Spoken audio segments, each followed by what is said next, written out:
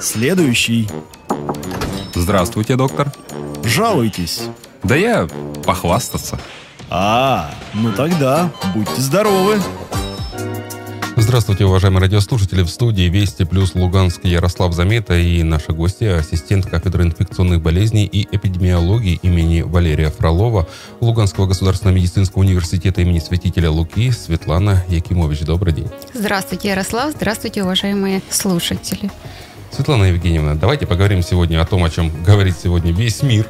Э, собственно, коронавирусная инфекция. Вообще, откуда берутся вирусы и подобные, э, как коронавирусно, коронавирусному, и совсем другие тоже вирусные инфекции? Значит, что я хочу сказать. Вообще науке известны десятки миллионов вирусов. Постоянно открываются новые, ранее неизвестные. При этом все-таки большинство из них совершенно безвредны для человека. Кроме того, с большинством из них наша иммунная система уже научилась бороться и жить. Однако вирусы эволюционируют, как и люди эволюционируют, любые живые существа, даже полуживые и, можно даже сказать, неживые, к коим мы можем отнести все-таки вирусные частички – Значит, в процессе своей эволюции и основной целью их является выживание и распространение как можно больше по планете, собственно, конкурируя за своего хозяина. Для этой цели они используют различные стратегии, в том числе и известные уже мутации. Э, в результате таких изменений инфекции, которые ранее не встречались, у человека, а встречались только у животных, получают возможность проникать в организм человека. То есть называется это межвидовой барьер, они преодолевают его и приобретая таким образом новые какие-то возможности. Собственно, это случилось и с нашим коронавирусом. Он оказался очень похожим на SARS-CoV, так назывался вирус, который, э, который вызывал атипичную пневмонию в 2002-2003 mm. году. И он тоже преодолел межвидовой барьер. Там природным резервуаром были рукокрылые или летучие мыши. Собственно, аналогичная ситуация произошла и с МЕРС, который мутировал от верблюда в 2012 году и вызывал ближневосточный респираторный синдром. Но, к счастью, эти обе эпидемии закончились. И э, надо сказать, что на сегодня все-таки прослеживается тенденция, что коронавирус теряет постепенно свою стабильность и патогенность. Это заразность. Что также подтверждает естественный ход эволюции – так как, собственно, вирус не заинтересован в том, чтобы убить своего хозяина, потому что без хозяина, без клетки он жить не сможет. Ну, это потому... паразит, по Это внутриклеточный паразит, да, по большому счету. Поэтому ему нужна эта клетка. И он заинтересован в том, чтобы как больше распространяться, большее число заражать, но ни в коем случае не убивать эту популяцию человеческую в данном случае. Эти исследования, кстати, были произведены в Сингапуре, которые показали, что в геномном аппарате вот этого уже нового коронавируса меняется последовательность РНК, то есть это те же мутации происходят, которые и обеспечивают послабление э, устойчивости и послабление, собственно, патогенности или заразности этого вируса. Это не может не радовать. По большому счету, э, что радует, что вирус э, не очень устойчив во внешней среде и достаточно неустойчив на предметах окружающей среды. Для нас это хорошо, потому что таким образом мы можем достаточно легко в обычной жизни с ними бороться, инактивировать их, ну, таким образом проводить, проводить профилактику для себя, для человека. Ну, то есть, э, грубо говоря, если мыть руки, да, и под, не лезть, скажем, э, в рот ими, да, там, в открытую слизистую, там, глаза и так далее и тому подобное, то будет гораздо проще. Да, да, да. Для этого, ну, все уже знают. Я думаю, люди сейчас очень активно интересуются этим вирусом, поэтому знают. В зависимости от механизма передачи, а механизм передачи у нас аэрогенный, это воздушно-пылевой и воздушно-капельный и контактный сейчас. Соответственно, с этими механизмами передачи мы можем понимать, что э, по воздуху, кстати, не так активно распространяется этот вирус, потому что, кстати, из всех коронавирусов это очень большой, крупный вирус по размеру, поэтому он далеко распространяться не может, дальше метра, как правило, ну до полутора метра, говорят, а потом оседает под силой тяжести, физические процессы все-таки оседает на предметы окружающей среды, на руки, и так далее. А потом, но ну, это тоже естественный такой процесс, мы касаемся руками лица, это нос, сли, ну, слизистые оболочки, э, собственно, являются для вируса очень опасными.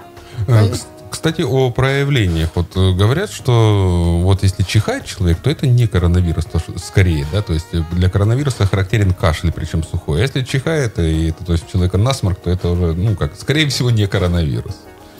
Ну, скажем так, тут нельзя однозначно говорить, даже в том плане, я э, хотела, значит, к каждому пункту можно это применить, что, собственно, коронавирусная инфекция все-таки для нас новая, поэтому мы пользуемся теми данными, которые, э, конечно же, перешли первыми с Китая. Сейчас этими данными обмениваются, ну, практически все страны задействованы, поэтому идет обмен информацией, собирается она, статистически ее обрабатывают, анализируют, поэтому что-то конкретно сейчас точно говорить, утверждать будет, наверное, все-таки неправильно. Э, Конечно же, из того, что мы сейчас имеем, есть клинические проявления, которые характерны для коронавируса, но однако же они все равно не являются специфическими, то есть теми, которые встречаются именно у этого вируса.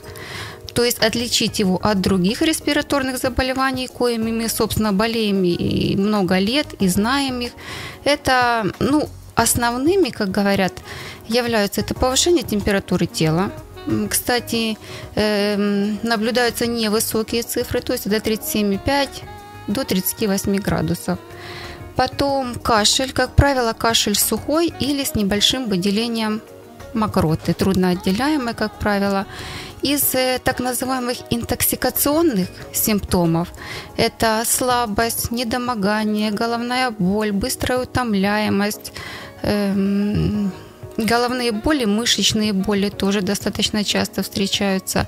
Э, Очень опасными симптомами или проявлениями является присоединение одышки, потому что она очень опасна развитием острого дистресс-синдрома респираторного. Это критич- критические и опасные симптомы. Э, Да и вообще любые, э, ну это такие субъективные ощущения, когда человек озвучивает это как э, дискомфорт в дыхании какой-то. Это может быть первыми проявлениями одышки. То есть хрипы какие-нибудь там или еще такое, или нет? Ну, ну, дискомфорт дыхания это или, ну, люди как по телефону, э, было же такое, что нужно по телефону терапевту описать, что или вдох затруднен, или выдох затруднен. Медики эти одышки классифицируют, есть типы одышек, и многие характерны для того или иного заболевания. А, Собственно говоря, вот если судить по тем данным, которые поступают, э, даже у тех, кто, во-первых, тех, кто умерли от коронавирусной инфекции, то есть э, она была сопутствующая коронавирусной инфекции, у них было очень много других заболеваний. Вот. Э, Это именно на ослабленный иммунитет так вирус действует, именно так э, критично или нет? Или все-таки он и здорового человека может поразить и довести до той же самой пневмонии атипичной?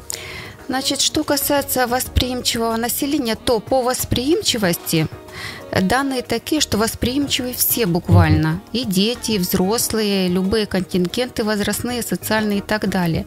А вот группа риска или, или ну, группа риска именно по возникновению тяжелых форм Мгм. осложнений и уж тем более летальных исходов, это как раз ну, на данный момент, опять же, из тех данных, которые у нас есть, это возрастная категория 60+.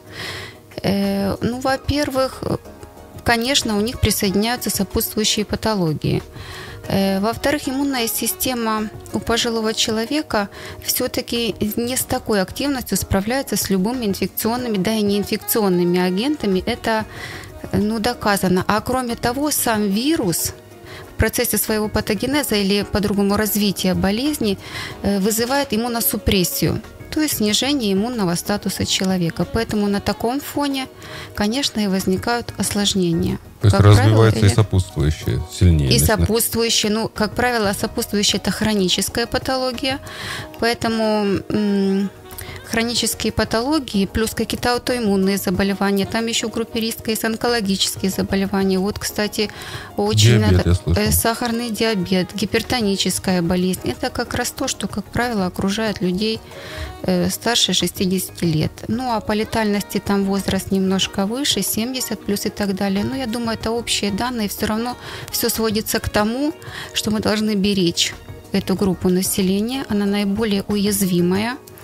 Э, Должны ну, как-то помогать по-человечески этим людям все-таки соблюдать. Им, наверное, им тяжелее всего, особенно если они одиноки, им тяжелее всего соблюсти все-таки эти карантинные мероприятия.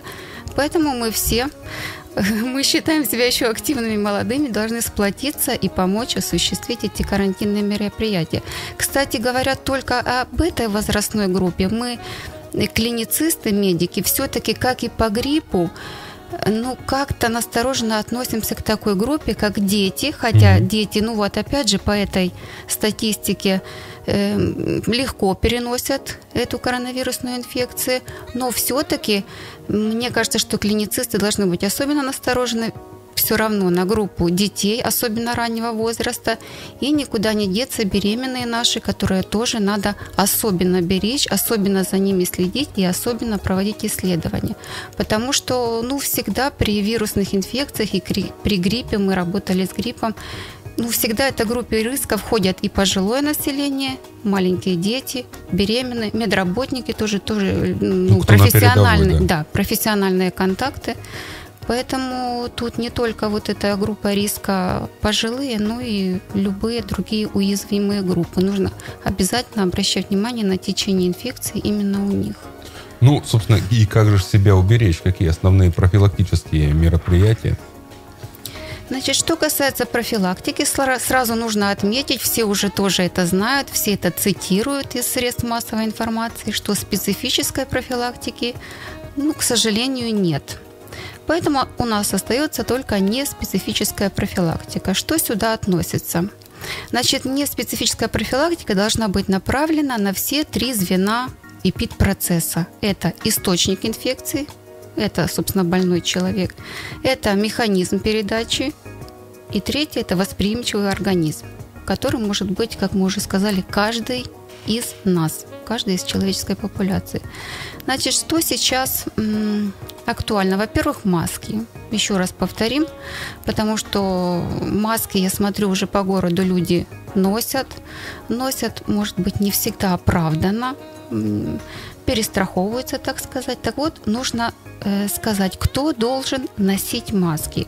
В первую очередь маски должны надевать больные люди – Особенно те, которые выделяют вирус с чиханием, с кашлей, с ринорией. То есть мы надеваем маску для того, чтобы снизить эффективность передачи инфекции физическим, собственно, путем. Также маски должны надевать люди, которые ухаживают за этим же больным.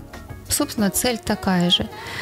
Маски можно носить в местах массового скопления людей. Если предполагаете, что это будет транспорт, Э, в транспорте много народу, или какое-то вынужденное мероприятие, где, как ни старайся, все равно люди находятся в близком расстоянии, и им достаточно много. Тогда это оправдано. Носить маску на улице во время прогулки совершенно нецелесообразно. Э, во-первых, это бесполезно, скажем так, неэффективно. С другой стороны, человек, когда надевает маску, все равно возникает дискомфорт в дыхании на улице потому что маска мокреет и становится совершенно неэффективной уже, то есть не несет своей противоэпидемической нагрузки. Значит, антисептики. Антисептики. Антисептики тоже болезненный вопрос, носят, обрабатывают и так далее. Но мы должны говорить, что антисептики или мытье – или мытье и антисептики. Антисептики используем в том случае, если нет условий помыть полноценно руки с мылом. Правильно? Это опять же улица, с магазина вышли, зашли, что-то положили в сумочку, достали что-то из сумочки и так далее. То есть это дезинфекция, антисептики должны быть. Но ни в коем случае антисептик не заменяет мытье в каждом случае, особенно если есть физические какие-то загрязнения на руках. Значит, личная гигиена это. Мытье рук, все уже говорили, 20 секунд, тщательно, хорошо, между пальцами и так далее. Это все есть, картинки есть, везде есть сан-бюллетни, как Там правильно мыть. С, с детства нас этого учили, как правильно мыть руки. Не, ну ничего, еще раз напомню. Затем соблюдение респираторной или, как говорят, кашлевой гигиены.